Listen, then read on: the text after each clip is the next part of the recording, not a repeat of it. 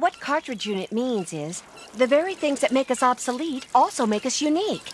I, for example, need to keep refilling my water wheel or I'll power down forever. Oh God! I'll never make it this time! This is the end! Anyway, we like it here.